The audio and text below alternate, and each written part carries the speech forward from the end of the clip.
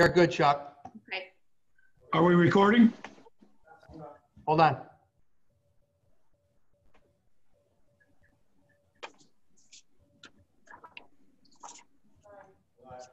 Okay, go ahead, Chuck. Good evening, everyone. Welcome to this regularly scheduled meeting of the Board of Education being held virtually in accordance with the governor's executive order. Today is Tuesday, June 23rd, 2020. Can I have a roll call, Ellen, please?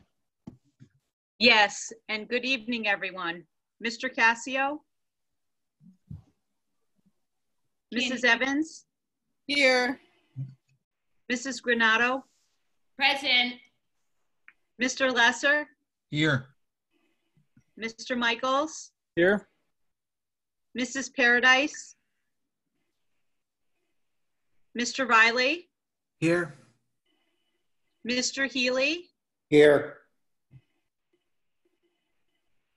Chairperson, Mr. Carey? Present. And Wethersfield High School Student Representative, Mr. Isaac Santos. Here. All present. Thank you, Ellen. If we could all stand for the Pledge of Allegiance and Ms. DeStoli, please lead us. Farewell. I pledge allegiance to the flag of the United States of America and to the republic for which it stands, one nation, Under God, under God, Under God, liberty and justice liberty and justice for all. for all.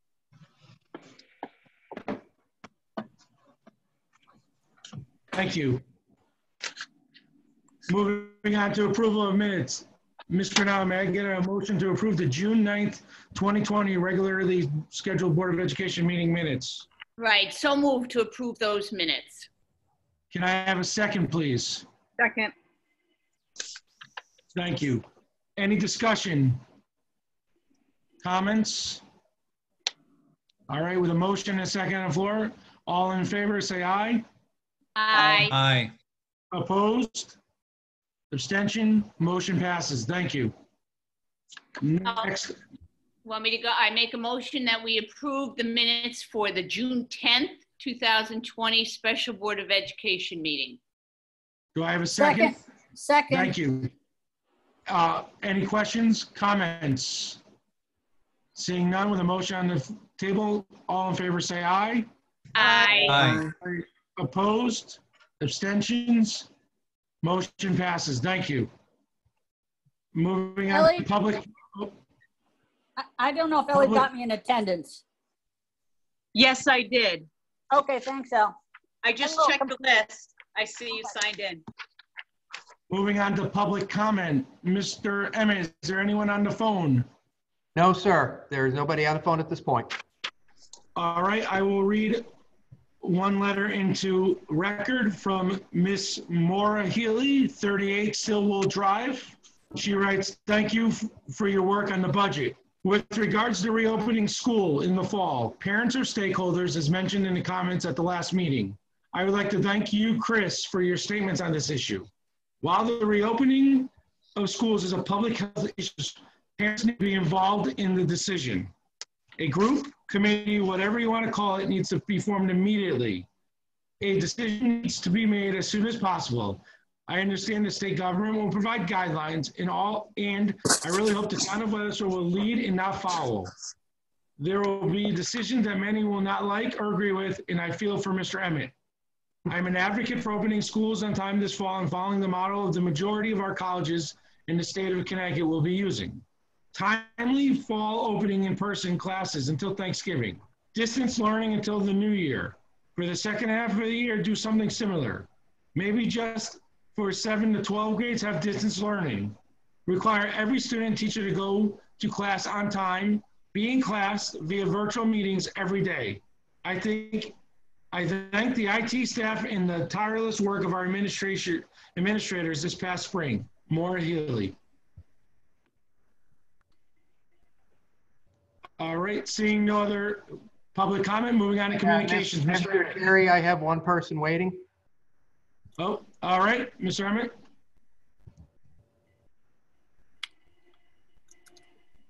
Caller, you're on.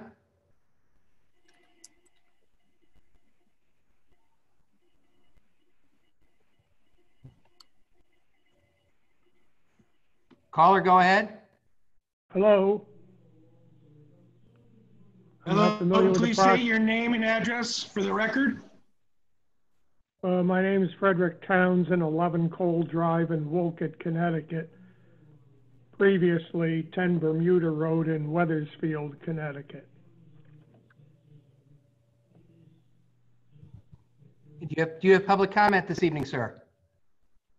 Yes, I, uh, I just wanted to offer to the town of Wethersfield guaranteed minimum scholarships for every student in grades kindergarten through grade 11, ranging from a minimum of $8,000 per student to a maximum of $19,000 per student in kindergarten. These scholarships are only usable at 411 private universities that are members of a consortium called Sage Scholars. Uh, However, if a student doesn't use the scholarship allocated to them, about 20% of it can be transferred to other family members if they attend one of these 411 private universities.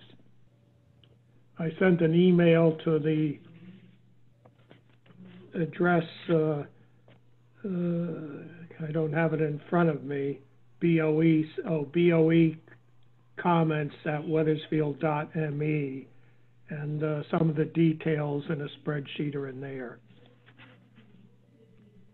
If there's no interest, uh, I'd like to hear back quickly on that so I can go off and uh, offer it to some other community. As I said, I've made this offer to you because uh, I had five children and they all went to Wethersfield Public Schools.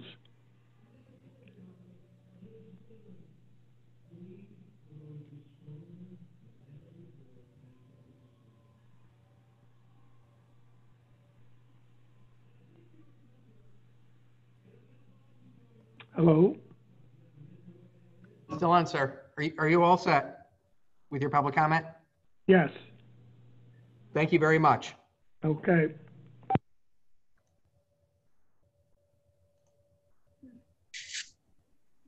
Anyone else on the phone, Mr. Emmett? Uh, no one further, Mr. Carey.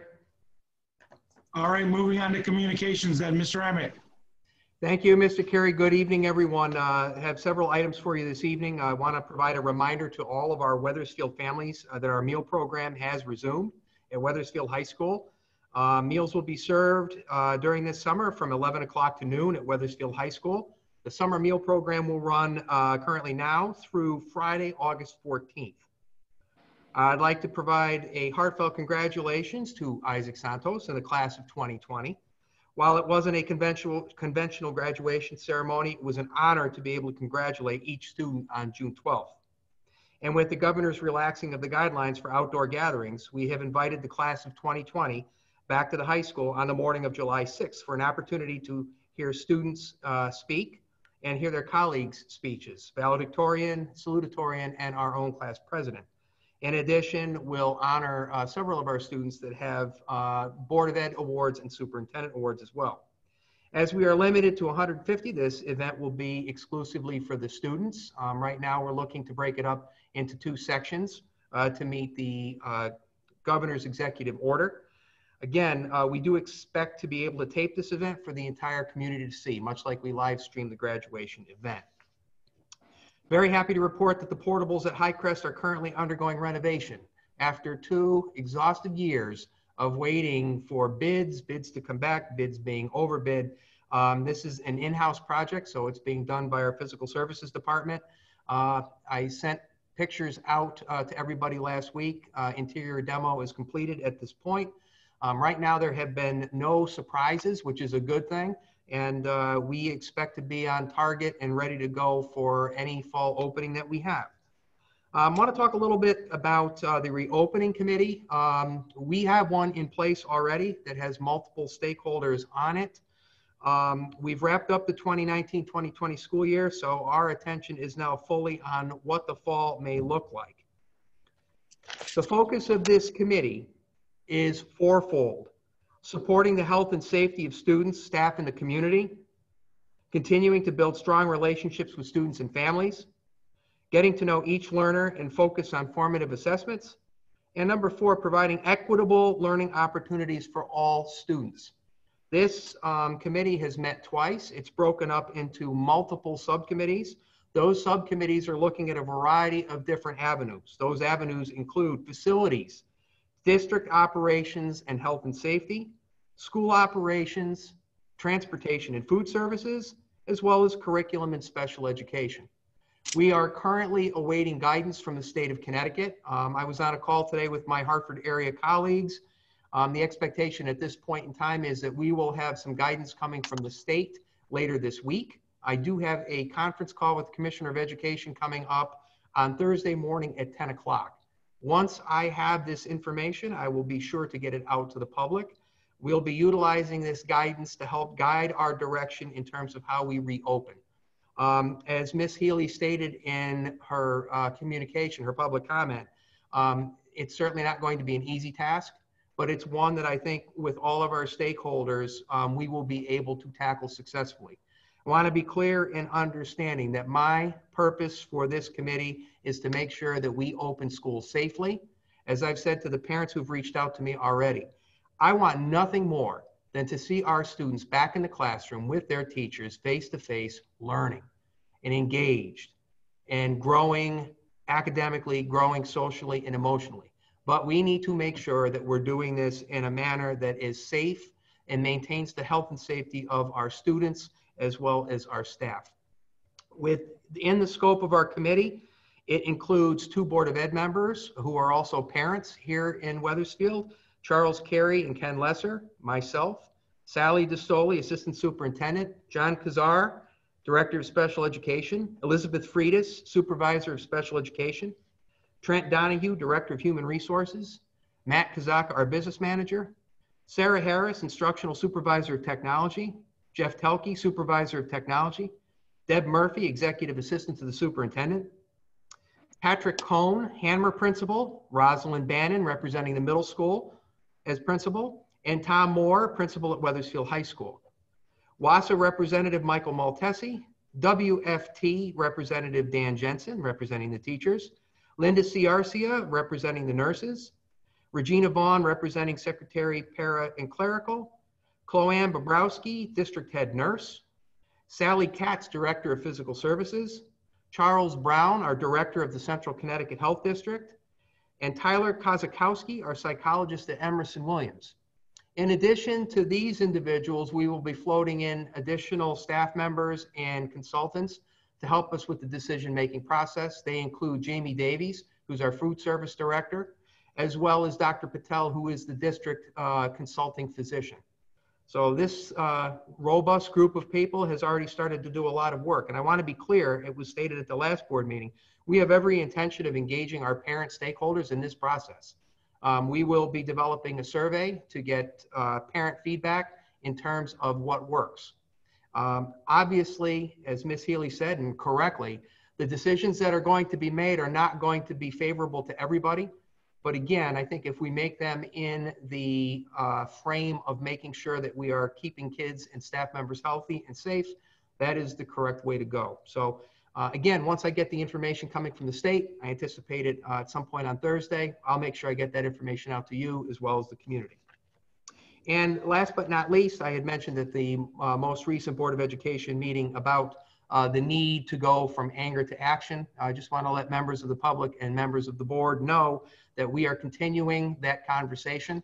Uh, this week, we had a conversation with a consultant, uh, Ingrid Kennedy from CERC, to talk about the process of um, developing conversations around race, around equity, around cultural awareness, and around culturally uh, uh, effective teaching. So we've got a lot of work to do in this realm. Um, I'm pleased with the direction we're going. I'm also pleased that we're partnering with the town. This is not exclusively a Board of Education situation. This is a town of Wethersfield situation that we need to dig into much more deeply. So with that, that's communications. Thank you, folks.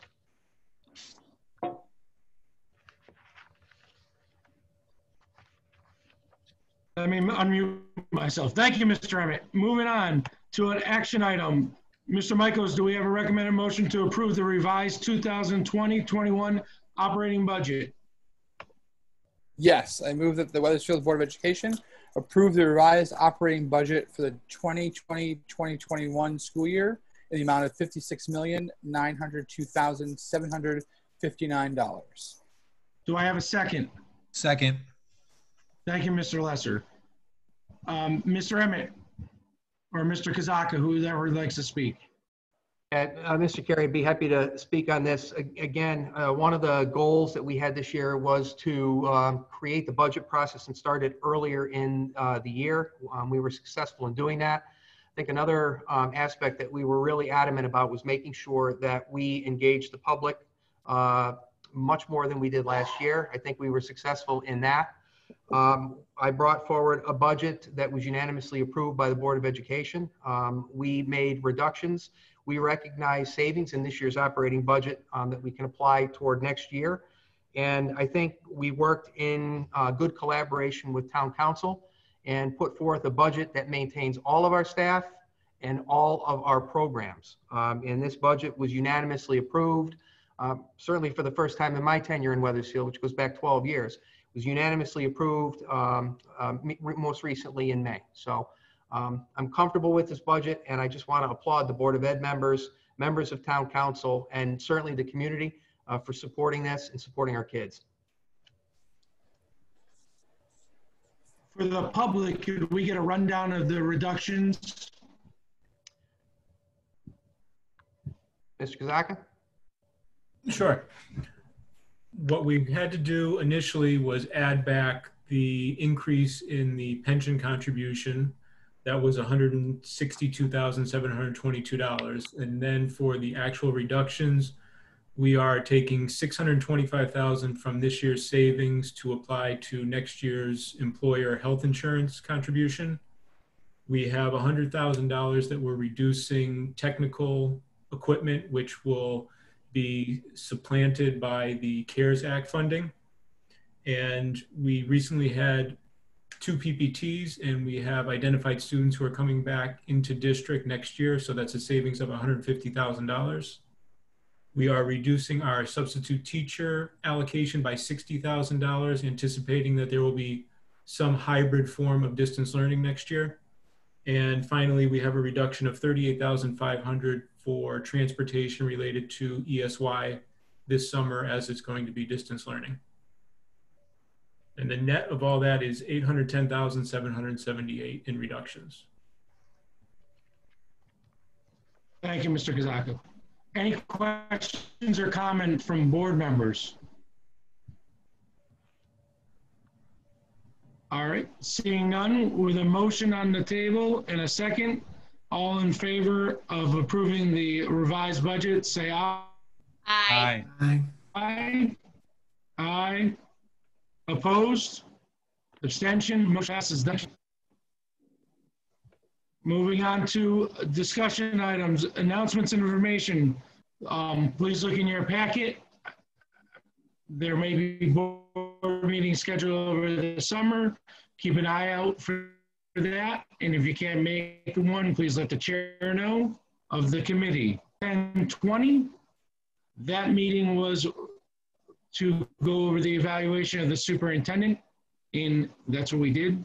Tonight, we had the Finance and Operations Committee meeting, 6:23:20. Mr. Michaels, you want to give a quick synopsis? Sure. Uh, Mr. Kazaka sort of stole my thunder there, uh, but we are looking at about 632, 917,000 under budget. And I think the big takeaway that we talked about was that's going um, to be moved over uh, to cover, to offset next year's uh, health insurance is where that savings will go. Um, other than that, pretty much the same. And then we also talked about um, the reduction um, for next year's budget during our meeting as well. Thank you, Mr. Michaels. Meeting schedule, that uh, right now, currently there are none. Unfinished business, there is no unfinished business. Public comment, Mr. Emmett, anyone on the phone? No one on the phone at this point in time, sir. Thank you. Next item is a proposed executive session to discuss and set superintendent's goals for 2020, 20, Yeah. 21. Excuse me? what? Yep. Can I just wait a minute? We had some board comments. Oh, I skipped board comment. Yeah, you got it. Okay, board Okay. comment. Thank you. Go, Bobby. Go ahead. Well, you know what, um, and, and we won't say that, um, it was item seven. Um, there was a CREC meeting. I wanted to talk about that, okay? So there was, That's fine. there was a CREC meeting on Wednesday, June 17th, again, a virtual meeting. Um, the CREC Council is the Capital Region Education Council, of which Wethersfield's a member, along with 35 other surrounding towns. The council is responsible for the regional magnet schools and Project Choice. Um, very much like us, the CREC administration is planning for reopening and awaiting further guidance from the state. Patrice McCarthy, the CREC liaison to the General Assembly, said that all is quiet at the LOB building and that she does expect a special session to pursue added educational monies and to pursue equity in distance learning. Um, an interesting part of this meeting is each council member representing a member in town was to present a list of programs that their town utilized, um, for, uh, utilized with CREC. And for Wethersfield, we use CREC for outplacements for their magnet schools, consulting services, evaluation, there's a lot of them, assistant listening services, audiological maintenance services, consulting teacher services, auditory processing management, FM, DM system outplacements at the magnet schools for speech, psychological services, OT and PT, paraprofessionals, also consultants for courageous conversations and for English language learner strategies. And we do send teachers to various workshops that are offered by CREC. And additionally, we do have teachers that attend various CREC councils for ECE, math, and language arts. Okay, I wanted to get that in. Thank you. I keep Chuck? Yes, thank you. Board, board comment, Kenny. Yes, thank you, Mr. Chairman. I actually have uh, two quick questions. One is, um, do we have the regular meeting schedule for the summer Board of Ed meetings for July and August? Um, And the second question is, is I guess to Michael. Um, I didn't fully understand the public, and you don't have to answer now, but the public comment, the speaker, but it seemed like he was offering um, scholarships to our students. Um, do you have any more information on that? So those are my two questions, summer schedule uh, for us and the public comment. I didn't fully understand what the gentleman was talking about. Yeah, I- I'm going to actually, I'll speak to the second question first, Ken. The um, Sage Scholar, I don't have a lot of information on it. I got that email this afternoon, so I'll certainly uh, follow up with Mr. Townsend and get some additional information and see if it's something that uh, would be um, good for our district and good for our kids. So I'll follow up on that one. And then with regard to the um, schedule of board meetings, typically speaking, we do not have uh, board meetings during the scope of July and into August. Usually the second uh, Tuesday in August is when we'll begin. I will tell you that in the event that we have any business, whether it be policy updates that must be done, or, um, for example, with our reopening committee, might we need to adjust our uh, calendar for 2021? We will absolutely um, bring together the Board of Ed for a special board meeting. Um, And the other piece at this point in time, I still don't have any real clear guidance with regard to how much longer we're going to be going into virtual mode. Um, I'm with you this evening from council chambers um, with our friends from the IT department. And right now, this um, chambers is still set up as the Emergency Operations Center. So hopefully soon we'll be able to get back to business as usual and we can all come together face to face. Great, thank you. You're welcome. Thank you, Chuck, Mr. Wilson. Chuck, Yeah. I have a comment. Um, Michael and uh, Chuck, I'm glad to hear of the members you've involved in the um, reopening committee. All of them are hard workers. And um, I seem to be the one, maybe, I don't know, many of you that live in town, um, who get caught in a grocery store and they say something to me about, oh, the reopening is going to be doing this. And I go, I don't know. I haven't heard anything. So, Michael, I appreciate your thoughts that will keep me or all the board members as up to date as possible because you get caught by somebody and you say, I don't know. And they're sure they have the right information, you know. So, I appreciate Ken and you and Chuck keeping us, in, uh, I don't know, updated. So, Thank you. thank you. Thank you, Elaine. Any other questions or comments? Isaac, for the last time, buddy. Uh, uh, for my final board comment as a student rep, I'd like to thank the members of the graduation committee, Mr. Emmett, Mr. Moore, our class advisor, Ms. Bellinger, and everyone else, and all the students who helped support and create the idea of the motorcade. It was a huge success. The almost the whole town was out. Some social distance, not not all, but you know, it's better than none. Uh, but they all came out to support us, and as a senior, and I'm sure all the other seniors agree, it was a it was a great event, and I'm sure we'll see all the seniors back July 6th. Thank you, Isaac. Any other comments? Seeing none, now I can move on to executive session to discuss and set superintendent's goals for 2020, 2021 school year. Do I have a motion to go into executive session? We are into executive session. Do I have a second? Second, Thank you. Any questions or comments? All in favor? Aye. Aye. Opposed? Abstention? Motion passes. Thank you. We'll in the session. Michael has to record us. Okay, we're recording now, folks. All right. Uh, do I have a motion to adjourn? So moved. so moved. A second? Second. Sec- All in favor, say aye. Aye. Aye. Opposed? Abstention? Motion passes. Thank you, everyone. Enjoy Night, everybody. your summer. Thank you, everyone. Bye, have a good night. Kelly, night. good luck. Good night, everyone. Yep. Thank Stay you. Good luck, Kelly. Stay- Bye, Haley, good All luck. the best, Kelly. Stay Let us safe, know. everyone. Send us an email. Bye, everybody.